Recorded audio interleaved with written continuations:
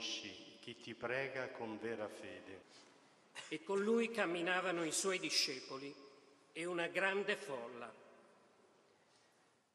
La solidarietà oggi rappresentata in maniera solenne dalla presenza del Presidente della Repubblica, al quale rivolgo il mio deferente saluto, dal Capo del Governo, dal Presidente della Camera, del Senato, dalle autorità.